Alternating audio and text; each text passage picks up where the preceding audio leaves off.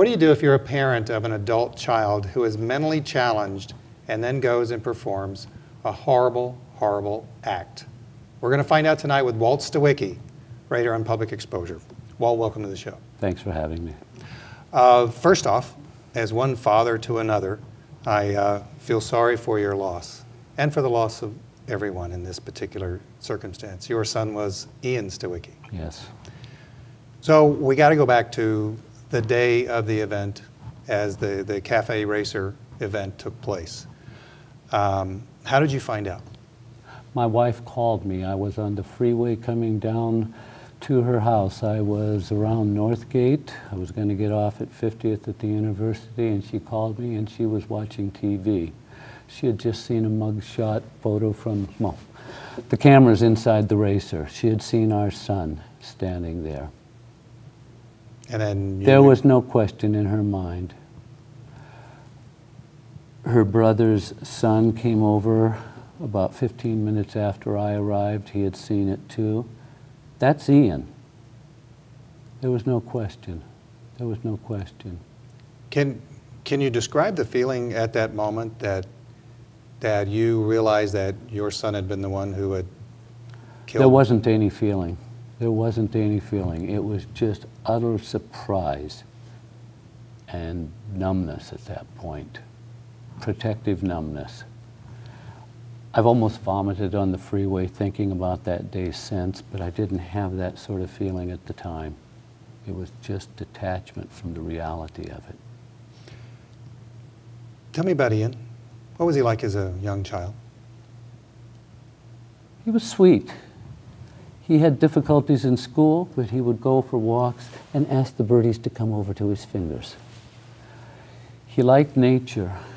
Uh, I didn't show you the last picture, but it was uh, in front of one of the largest trees in Seattle, perhaps the oldest tree in Seattle. And as, as his mother said, if he had a religion, it was nature.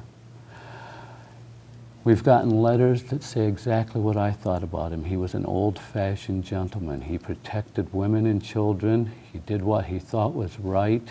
He did not get into people's faces and argue with them. That started changing. When did that happen?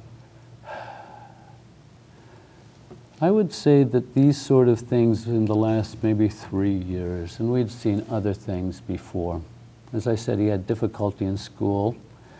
Early in grade school, it was called dyslexia. He could not perform things from one modality to another and relate them. He couldn't listen and write. He couldn't read and speak about it.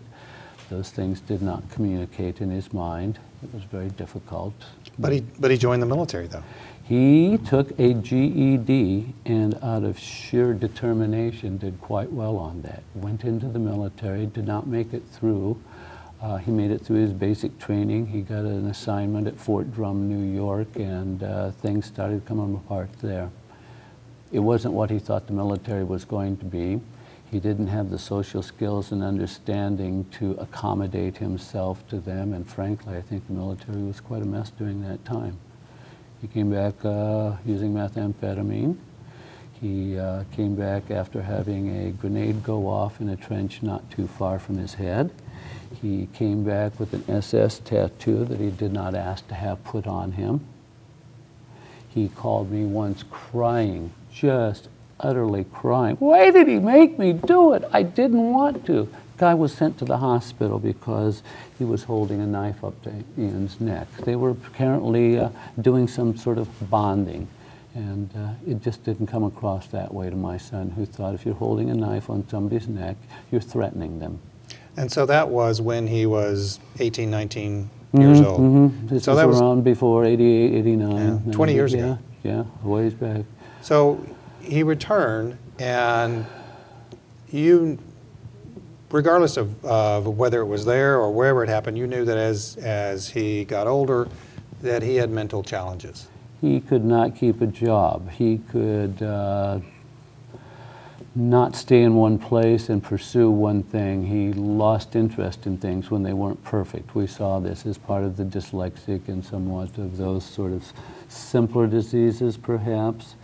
Um, he- we thought maybe he was drinking, and then it was, well, he's not drinking, but why does he have these geographics? He'll go someplace, be gone, not talk to us, come back, never say anything about it, leave everything behind him. Spent about $30,000 once on a vehicle. Where'd he get his money? He got it from a third or fourth generation trust in the family, off of his mother's side of the family. So he, he couldn't hold a job. Was, did he apply for public assistance of any kind? Never. Never. All right. And he had no GI benefits. He was cut loose from them. Was, was he an angry young man? As I say, lately, yes, he was angry. Over the past three years? Let's talk about Yeah, the past let's talk years. about frustration as opposed to rage and hate you and gonna kill you type anger. It was frustrated rage about how things ran, how the world was, how the world was coming to an end, the oceans, the air, the croplands, it was all destroyed. We've made a mess out of it. He loved children. He loved children. He was a protector. He loved to be around the children, but uh, you know the cousins and help them and do things and take them around. But uh, he certainly did not want to bring any into the world. Well, at the same point in time, I mean, we all know what happened. Yes, Uh, and he brought the end of the world not only to himself, but to several families. yes. Did you see his, over the past several years, did you see his anger increasing or his frustration increasing? No. Mostly we saw his isolation and refusal to engage with family. I don't want to talk. I'm doing something else. I'm reading this book. I don't know about that. Ask somebody else. I'm not involved. Now, he had access to guns. Yes. Uh, was that something that you wanted or did it matter? You know, let me back up. I'm on record as being a gun salesman for over 10 years Yeah. and uh, doing that uh, somewhat as his low-key business. We'd gotten into it as hobby. He was brought up around guns. His brother was brought up around guns. His sister was brought up around guns. Uh, you know, it was one of the things that he liked about the military, I suppose, was uh, But know, guns the comfort with that. Guns and drugs and extreme frustration don't mix, do they? A lot of things don't mix, yeah, and that's a combination that uh, didn't mix too well. Obviously didn't mix too well one morning. Were you ever afraid of him in the No. last three years? People have asked me that. I was never afraid of him. I was afraid, as was his mother, for him. What do you mean by that? We didn't see him as aggressive. We saw him as angry. We thought he would challenge somebody intellectually and get beaten up for telling them they were stupid and didn't know what they were talking about. We thought that on another occasions he might be just too friendly to somebody and get along with them, and uh, that we'd get a knock on the door and he would be dead someplace because of it, uh, be robbed. He didn't use banks. He carried uh, himself around, you know. So he lived with you? He was No, he did not live with me. He barely talked to me. I used to be the good parent until one day I wasn't. And then it was mother. Mother has hepatitis C. She's not doing it all well. She basically needs caretaking. Well, who was we he working some of that. Who was he emotionally dependent upon? Dependent upon? I don't know that he was emotionally dependent on anybody. That's part of isolation. You don't have somebody to share those things with. Some degree with his mother, some degree with his girlfriend, and uh, some degree with some friends who have uh, moved out of the area. He would visit, he would call, but not, uh, you know, not somebody he could say, I need to talk to somebody, go out tonight. Not that sort of a life. Do you have any idea at all what was it that led him to do the acts that he did on that particular day? No, I have no idea what did that. I have no idea what the relation was with those people. There were, apparently was some little bit of relationship or the attempt to make a relationship.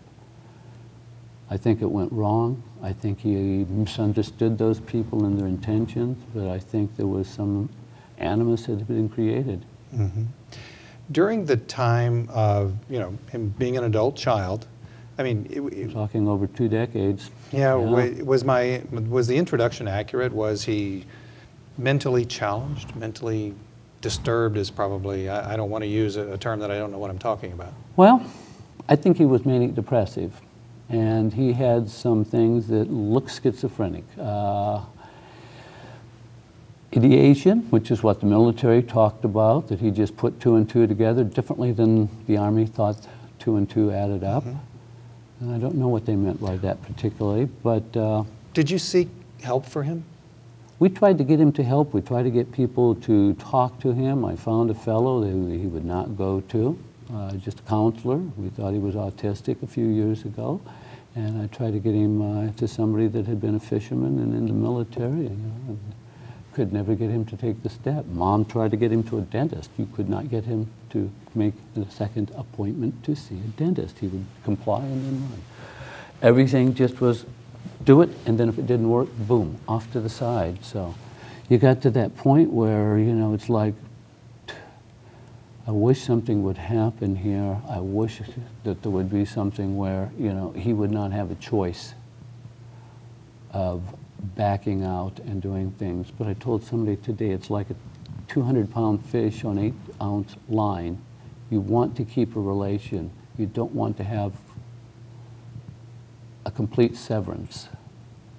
And you get into Because he was your son. he's our son.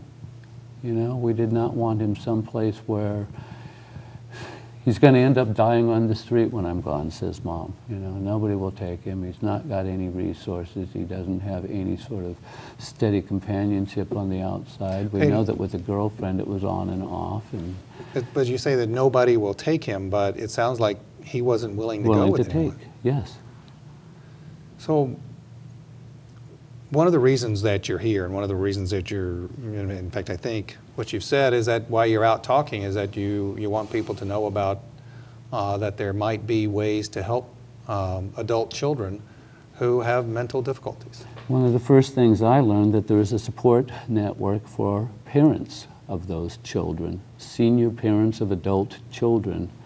Uh, there are meetings here, and uh, there are meetings at Harborview on a weekly basis. There is a weekly meeting at a uh, church on the north end that can be accessed through uh, the Greenwood Community Center.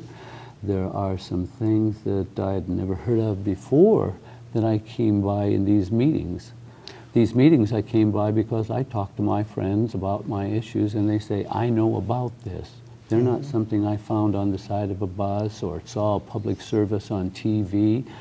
Uh, they're not being pushed in front of us. Ken Schram said, oh, the law is changed. You don't have to have imminent danger anymore. Everybody else has told me that, well, we have that law, but it's not implemented because of money. And I'm thinking, it's not a money issue, you know. He doesn't have insurance, but uh, he does have some money. If he were willing to put it to it, just like his teeth, he could have had his teeth fixed. But You were quoted in the, in the newspaper, and I think several news blogs, as saying that you wish you had lied yes, uh, so that yes. you could have gotten him help. Call the cops and say he was going to kill me, and that still works. They have to take somebody in a DV situation like this and where somebody's at that pitch and they have to hold them and take a look at them. The difference between symptoms like he shows and a 24-7 schizophrenic is that if he were talking and his mother was disturbed by his talk, please don't talk about people that way. Rude talk that you might say coming from a KKK type person. Uh, he had some very extreme views about the war in Iraq and uh, the people that were fighting there. Dehumanizing speech came out of him. I didn't think he was going to go down the street and kill somebody who looked Middle Eastern. Uh, the person on the ground would talk to Spanish people and then he would bitch about immigration. He would talk to people in the stores, regardless of who they were. Somebody once asked him if he was Afghanistan. He did not take it as an insult. He laughed about it. You know, this is kind of funny, isn't it? His mother would say, please, I don't like that kind of talk, and he would stop. He had a piece of control in, in those situations. Somehow that control didn't click this morning, that he went into the cafe. You, But what I'm trying to say with that is, 24 hours, you know, for somebody who can pull it together, and I've talked to other people, and their schizophrenic children have been in 24 hours, 72 hours, longer, and they learn how to work that system. They learn that they just need to do a little eye contact, be present, know what day it is, and uh, oriented to the situation, give an answer that's a direct response to the question, and they'll probably not be held. Got to take a very short break. We're talking with Walt Stawicki, who is Ian Stawicki's father. Ian Stawicki is the cafe racer killer. Um, Mr. Stawicki is talking with us about the potential for uh, parents of adult children with mental difficulties learning and having some alternatives as to how they can deal with their children. Um, and, you know, it doesn't matter how old they are, they're always your children, right? Forever. Um, you've gone back to the Cafe Racer yourself. I walked by it two times, and the third time I walked by it very slowly. There were people there on that occasion. And uh, they were tending the garden there, and uh, the woman tending the garden asked me if I knew any of those people. I told her that it was, it was my son that was the shooter. And she stopped for a second. We bonded, and we talked for a few minutes. And uh, I talked with her, you know, about how it didn't feel like anything other than words to express sympathy, to say I had done all I do- had done, and to hear other people say all I could do was an easy lie. Because afterwards, you see it so much differently you see a different time span and you see the urgency that could have been there. It's a deck of cards and it's all wild cards. I want to emphasize that. It goes along in a few years and it may be getting worse and boom, it's gotten as bad as it can get. What have you learned in terms of what kind of help might be out there today? Support for the parents, that's necessary so that you don't get locked in. But it wasn't the parents who did the shooting. It was not the parents who did the shooting, but if the parents have more strategies, if the parent, and I'm not talking, you know, it's like how to take care of a difficult child and ways to get them to clean their room. If the child is seriously needing help and isn't going themselves, the parents need strategies and somebody to help them work getting that child to the point of taking help, of accepting help.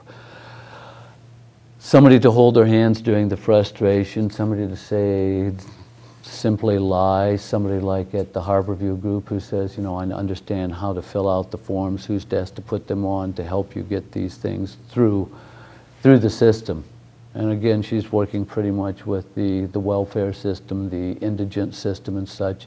There's a very small system of people out there in private practice, but uh, But if you can't they can't put them in courts, they can't get them, you know. That to me is the point where it, it just feels like, in my experiences beforehand, with the Kendra laws of New York, they're going through a new addendum to that where parents and family will be credited with good information that the person is really ill, the person really is a danger, there should be an evaluation, the person should be held against their will, because they realize that is a credible witness to the person's life, not possibly somebody who has an axe to grudge against them. Well, You see what I'm saying there? The state has said that, well, you're just saying this about somebody in the family to get rid of them, to revenge on them, to do some petty thing hmm. to that person. let me ask you this. Besides waking up from this nightmare and, and none of it being true, Well, it's all true. what would you want to have happen now?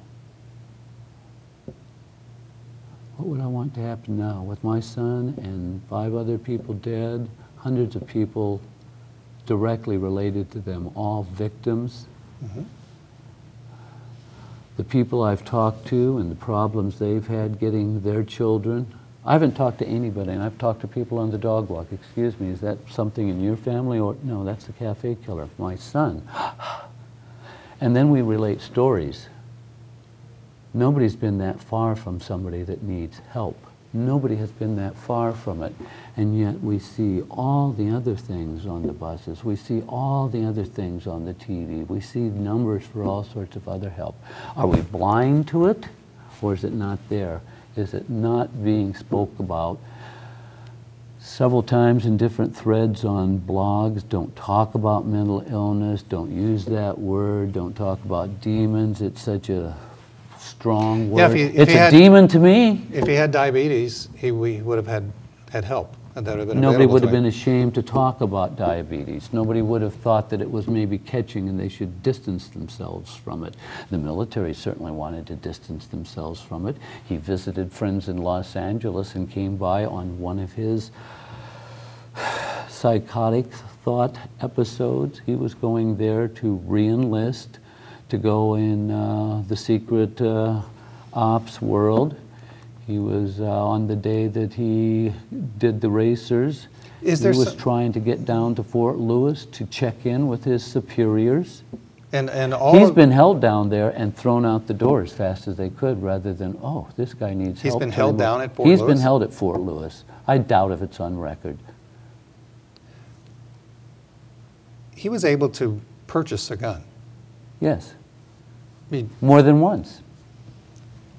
how? You take a carry permit from this state, which is a shall issue state. I, I don't know what that means. Shall issue means you will do this unless you have a good reason. Two reasons domestic violence, felonies, been court ordered into a mental facility, ordered into, not just held and looked at, ordered for treatment, found mentally incompetent to some degree, or done something felonious.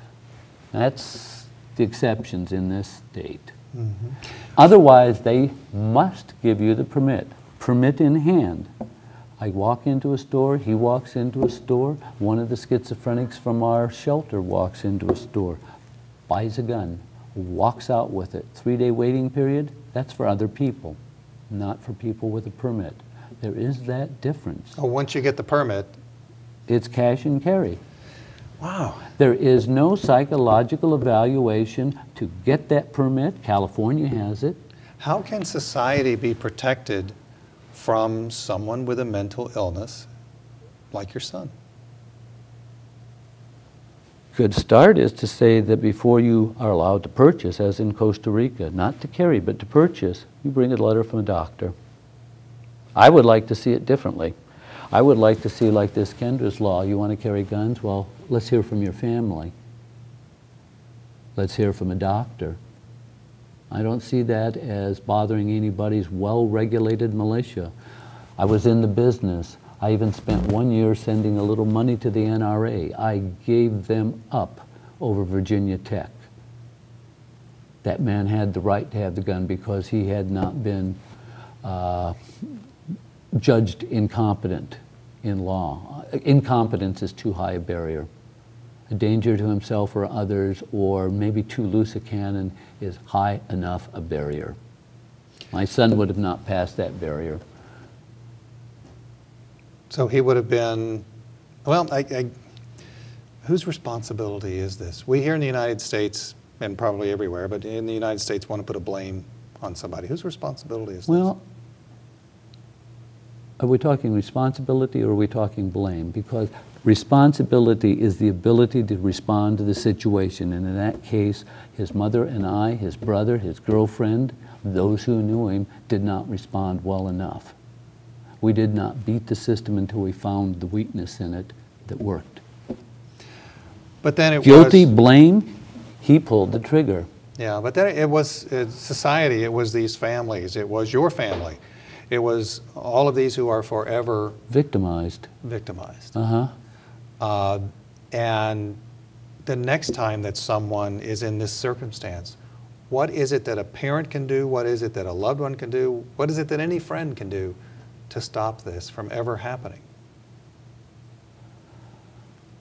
I don't know if you can stop it, but you can try.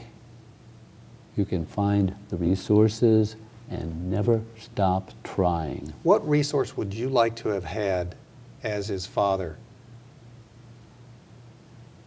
I would have liked a lower barrier for him to be held and evaluated, and not just for a short piece of time. I would have liked him to have been checking in with somebody in the profession on a regular basis for several months. Do you want legislation to, to now take place as a result of this? Uh, what do you want? That would be a good point to start with, yes. Yes. What should the legislation say? Lower barriers. If somebody says there's something wrong here, go with that. Do not be a shall permit state. Have a, let's look at this closely. Copy what California does, just a little bit of evaluation rather than rap sheet. We only look for a rap sheet in this state. Oh, you have to be a criminal to, You have to be a criminal or already judged crazy by a court and sent in to a mental evaluation. what kind of things did, did, had you tried that? Had you, had you tried to send him, to get him sent in or? I never thought of lying. Dumb as it sounds today, never lied. Maybe that's another problem with being a parent.